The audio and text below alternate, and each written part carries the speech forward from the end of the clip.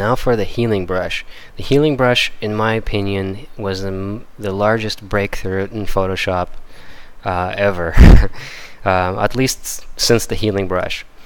And it's totally changed the way I retouched and everyone else does as well. Before we'd have to match up the clone stamp you know, and as I described and showed you, the, the, various skin patches with different tones cannot be cloned from one to another very successfully as they do not match in tonal values. And with the healing brush, what they have done is basically up supercharged the clone stamp to take into account and measure the brightness levels in the surrounding area from where you're cloning to and cloning from and change that color, the bright luminosity information to match, and it works very well.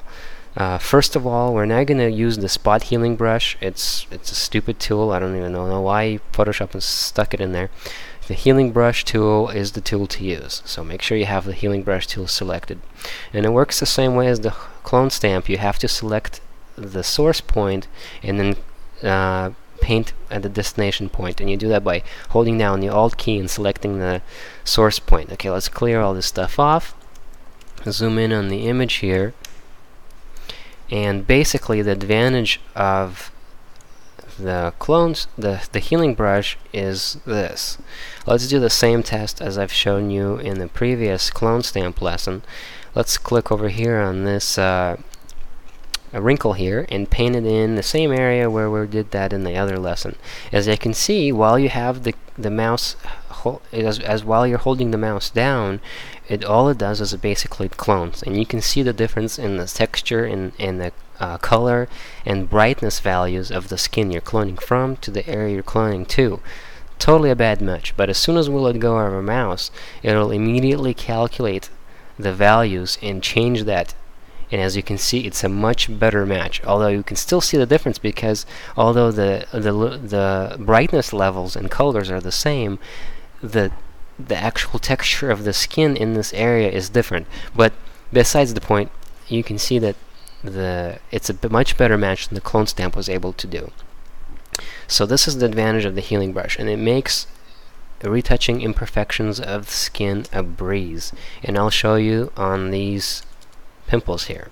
So increase our brush size by left clicking, uh, uh, basically left bracket makes it smaller and right bracket makes it larger, and then alt click and pick a, you know, a, what I like to do when I'm using the healing brush, and I like to source in a similar texture of the skin.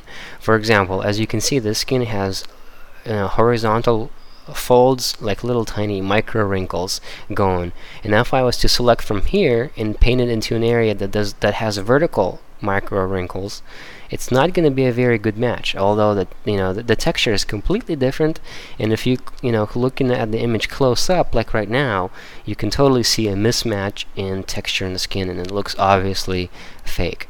So what I like to do is I like to clone from an area with the same or very similar uh, skin texture that's clean, uh, you know. Um, and that basically works much better. So here we go. Let's clone from this area I mean source and then heal into this area. And that's a very good match. And so let's just basically do that. And it's a very quick um, breeze to correct these imperfections. And I always like to sample from a new area every time I clone. So that way you're not getting any kind of repeating patterns and that's basically how uh, the healing brush works is it uh, it does your job much quicker. With if you were to use clone stamp let's let's undo these real quick. If we were to do the same thing with the clone stamp the little differences in texture would make a big difference. So let's say we want to clone from this area onto this area. You know that worked okay and let's say we want to clone from this area onto this area. Well that's already a big mismatch although they're very close to each other. And let's do the same thing again in the healing brush. And you will understand what I mean. Looks like a mismatch but you let go and you got a perfect match right there. So that's basically all there is to know about the healing brush. And as you can see you can also do aligned and, and not aligned and by default the checkbox is not checked and this is the preferred way you want to work because you want to always have your source point sourced from the same point and if you want to leave it there you can continue you know retouching but you can see the mismatch in skin texture there. You wouldn't want to do that but this is the preferred way of working in the healing brush is to have your align box unchecked and you can also uh, heal from you know uh, your on your current layer and below or all layers but I usually always like to heal on the current layer. And that's basically all there is to know about the healing brush. It's a very useful tool and this is probably the number one tool I use for facial retouching or one of the first and most used tools. Show you guys the disadvantage of the healing brush